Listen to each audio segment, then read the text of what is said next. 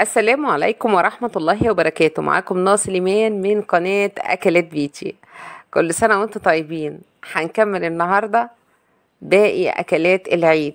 وهنعمل مع بعض طبق حلو قوي وسريع تعمليه في العيد جنب أي أكل. هنعمل البوريك التركي. البوريك التركي أكلة حلوة قوي وسريعة مش هتاخد منك دقايق. وبصي طالع شكله طعمه كمان حلو قوي. بس يلا قبل ما أبدأ وأشتغل وتمشي وتنسيني. يلا اشتركي في القناة فعلي الجرس واعملي لايك. يلا نبدأ ونقول بسم الله. هنشوف مع بعض المكونات اللي هنشتغل بيها النهارده. آه لحمة مفروم وبصل وفلفل ألوان وملح وفلفل أسمر ومعلقة baking powder وكوبايه لبن ومشروم سواء مجفف أو fresh أنا هستخدم النهارده ال fresh لو مش متوفر عندك ال fresh ممكن تحطي المجفف. لو مش عايزة تحطي مشروم okay بس المشروم بيدي طعم حلو قوي في الأكلة دي.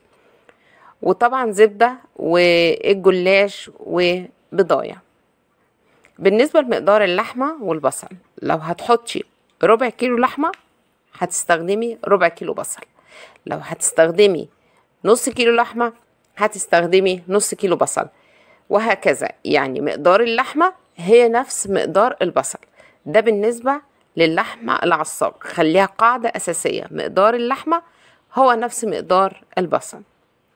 يلا بقى نبدأ نشتغل. هنعمل دلوقتي اللحمة العصاج. نزلت بالزبدة. وبعد الزبدة نزلت بالبصل. حطيت الزبدة ساحت ورحت حاطة البصلة. يا دوب البصلة هتدبلت معاكي. هنزل باللحمة. وبعد ما حطيت اللحمة طبعا هتحطش الملح والفلفل الأسمر وأنا زودت زنجبيل.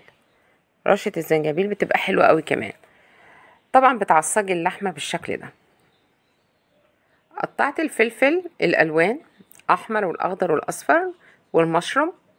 بس قطعتهم بالشكل دوت حتت صغيرة ما تقطعهاش مكعبات كبيرة أنا عايزاها أجزاء صغيرة.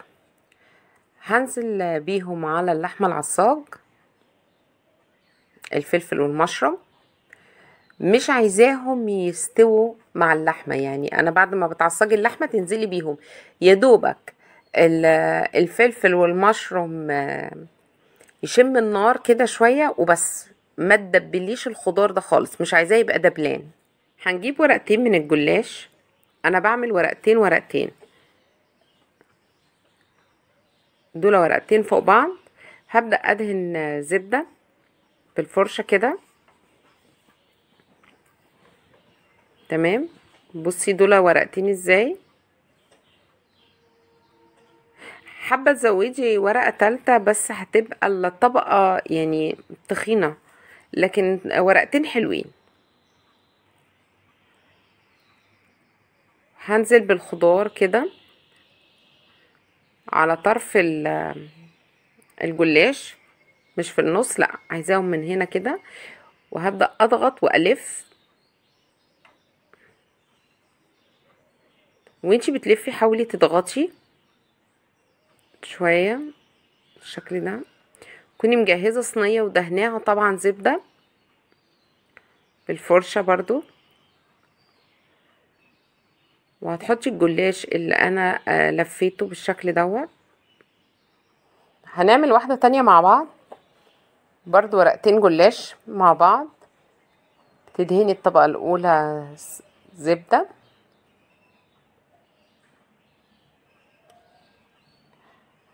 وبتحطي الخضار. أنا هبدأ دلوقتي أجيبه تاني كده بالمعلقة. تظبطيه كده وتبدأي تلفي. هتبقى بالشكل ده. وهتحطيها طبعا في الصينية.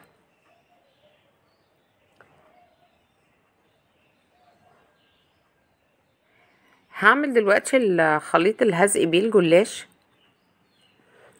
عبارة عن البضاية هنزل بالبيضة دلوقتي وكوباية اللبن. وهحط طبعا البهارات الملح والفلفل الأسمر. ومعلقة ال baking powder معلقة صغيرة من ال baking powder آه بتخلي الجلاش هش. وببدأ أضربه كده بالشوكة مع بعض. تضربيه كويس. بتكوني خلاص طبعا كده مخلصين الصينية معانا. بصي رصيناه بالشكل ده الجلاش. هبدأ اسقيه باللبن والبيض آه اللي أنا عاملاه بالشكل دوت.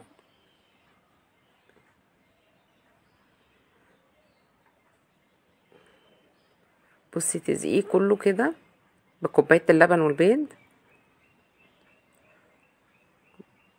تمام. وهدهن الوش كده بشوية زبدة.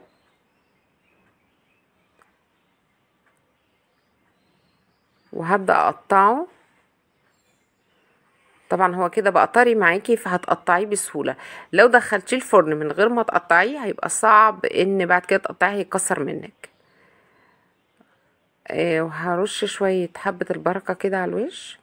هتدخليه الفرن على درجة 180 على الرف اللي في النص.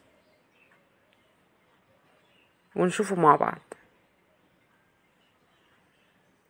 بصي أنا حطاه على الشبكة وطبعا باكد عليه كده درجة حرارة 180 آه بصي بيغلي إزاي اللبن والبيض وطالع ريحته حلوة جدا. وده شكلها بعد ما طلعت من الفرن. يا رب يكون الفيديو عجبك. لو عجبك الفيديو يلا اشتركي في القناة فعلي الجرس واعملي لايك.